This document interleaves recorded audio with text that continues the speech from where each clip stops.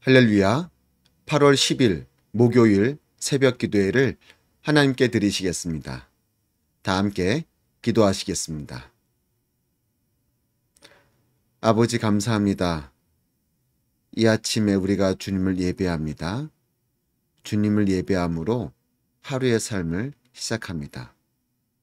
주여 이 시간 우리의 예배를 기뻐 받아 주시옵소서 영과 진리로 주님을 예배할 때 성령님께서 우리 모든 심령 가운데 함께하여 주시옵고 역사하여 주시옵소서.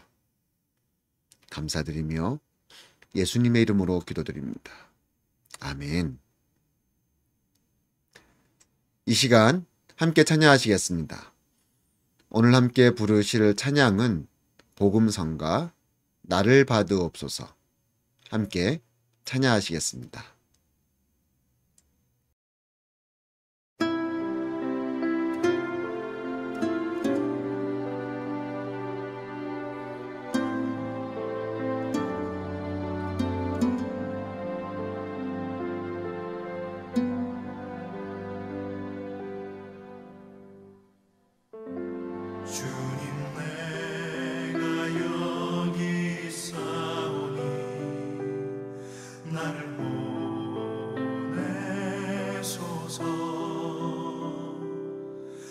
나의 마음 나의 몸 주께 드리오니 주 받으옵소서. 주님 내가 여기 있사오니 나를 써주소서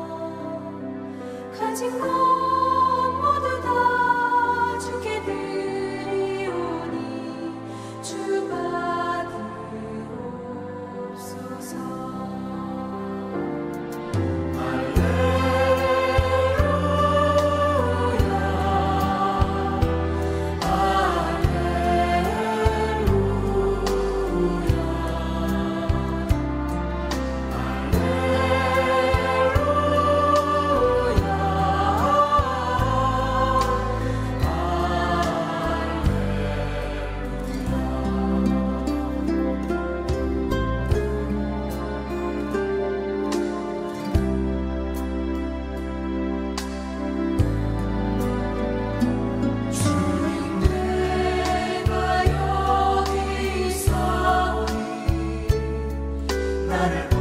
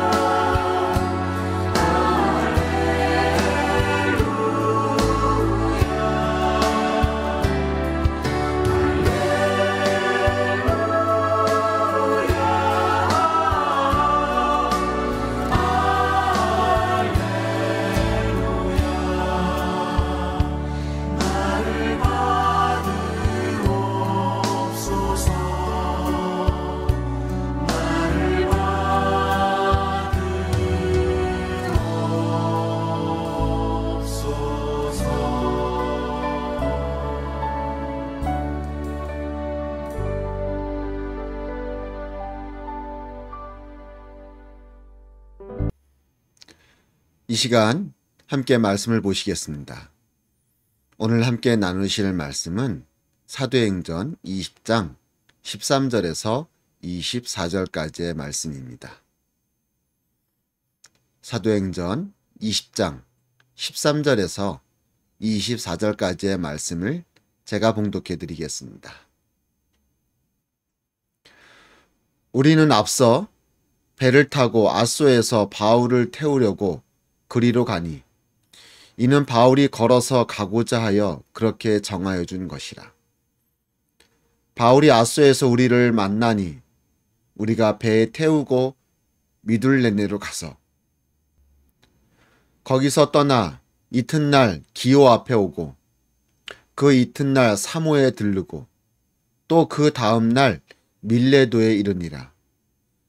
바울이 아시아에서 지체하지 않기 위하여 에베소를 지나 배 타고 가기로 작정하였으니 이는 될 수 있는 대로 오순절 안에 예루살렘에 이르려고 급히 가밀어라.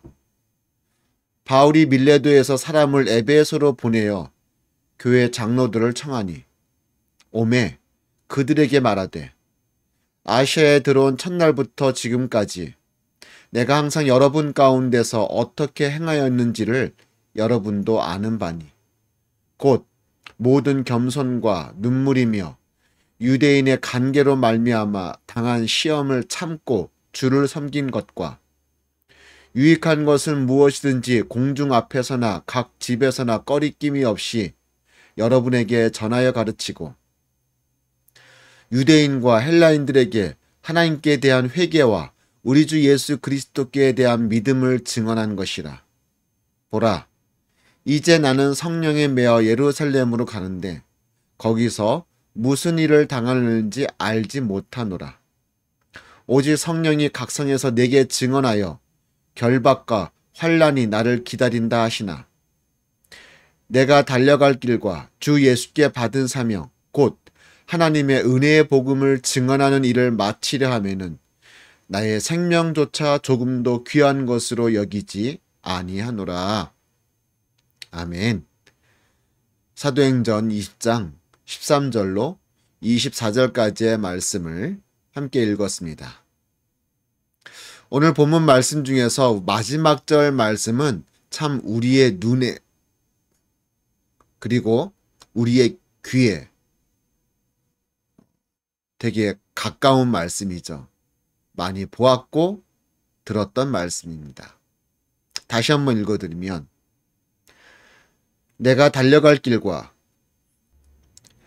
주 예수께 받은 사명, 곧 하나님의 은혜의 복음을 증언하는 일을 마치려 하면은 나의 생명조차 조금도 귀한 것으로 여기지 아니하노라. 아멘. 우리 모두가 우리 모든 믿음의 사람들이 바로 이러한 사명감을 가지고 이 땅에서 믿음의 삶을 살아가야 할 줄로 믿습니다. 근데 우리가 늘 볼 때는 이 말씀만 딱 떼, 떼서 보죠. 그 앞에 말씀은 보지 않습니다. 이 말씀만 딱 떼고 보기 때문에 아 나의 달려갈 길, 곧 그것이 주 예수께로부터 내가 받은 사명, 그 사명을 그 사명이 뭡니까? 복음을 증거하는 일인 것이죠. 그것을 내가 마치려 하면은 내 생명조차도 귀한 것으로 여기지 않겠다. 즉, 내게 맡기신 사명, 내가 해야 할 일, 복음 전하는 일에 내 생명까지도 조금도 아까운 것으로 여기지 아니하고 사명 감당하는 삶을 살겠노라 하는 사도 바울의 어떤 그러한 사명의식, 다짐, 믿음을 볼 수 있죠. 그리고 우리 또한 그것을 보면서 나 또한 저렇게 살아가겠노라 다짐을 하곤 합니다. 근데 이것이 단순히 사명만을 감당하겠다는 것이 아닙니다. 그 앞부분의 말씀을 보면요. 뭘 이야기하고 있습니까? 오직 성령이 각성에서 내게 증언하여 결박과 환란이 나를 기다린다 하시나. 지금까지 사도 바울이 각성에 들러서 복음을 전했을 때 어땠습니까? 한 번도 쉬었던 적이 있습니까? 없습니다.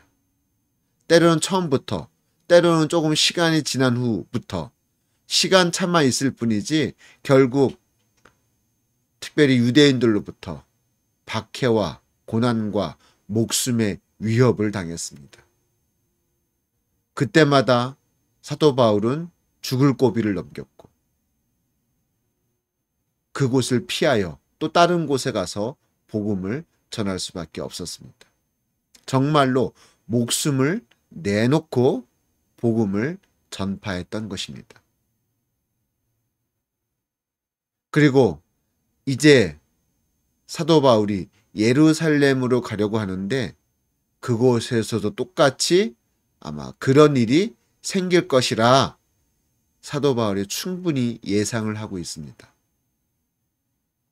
그런데도 불구하고 나는 이 길을 가겠습니다.